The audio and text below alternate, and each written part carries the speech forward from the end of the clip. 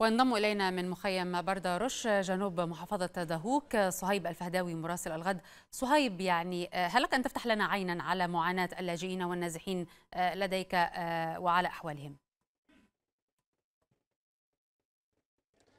نعم في الحقيقة معاناة النازحين واللاجئين في العراق معاناة كبيرة تمتد منذ سنوات وتتفاقم مع تطورات الأحداث في العراق وفي سوريا. مؤخرا كان هنالك على خلفية الهجوم التركي على الشمال السوري موجة نزوح إلى مخيمات إقليم كردستان. وفي هذا المخيم الذي أتحدث منه الآن في مخيم بردرش توجد أكثر من 1136 عائلة سورية فرت من الشمال السوري جراء العدوان التركي الأخير على المناطق في الشمال السوري. هذه العائلات اليوم تحظى بدعم ومساعدة الإمارات في هذا المخيم ومساعدات الإمارات كانت مستمرة على مدار الأزمة منذ بداية أزمة النزوح في العراق عام 2014 وحتى يومنا هذا مشاريع الإمارات ومخيماتها ومرافقها الصحية في جميع مخيمات إقليم كردستان موجودة ومنتشرة. بل إن الإمارات أنشأت مخيمات بأكملها مثل مخيم ديبقة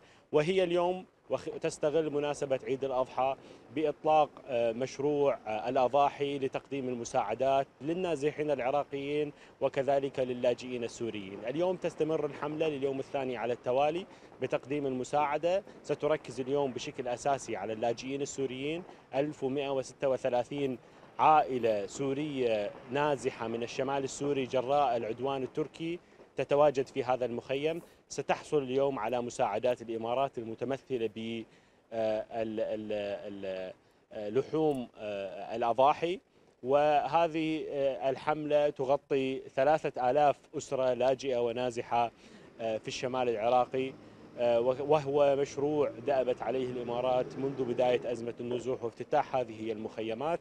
وحتى يومنا هذا أصبح تقليد شبه سنوي تقوم خلاله باختيار مخيمات أو أبرز المخيمات التي هي بحاجة إلى المساعدة لتمد يد العون يد العون إليهم. تجدر الإشارة إلى أنه هذه المساعدات التي تقدمها الإمارات للاجئين والنازحين العراقيين تأتي في وقت أنه مناطق شمال العراق وتحديدا المناطق الحدودية تشهد عنوان عدوان تركي خاصة يوم أمس كان هنالك قصف لمناطق في محافظة دهوك وتحديدا في منطقة زاخو الحدودية القريبة من منطقة العمليات التي تشهدها هذه المناطق منذ أكثر من 40 يوم.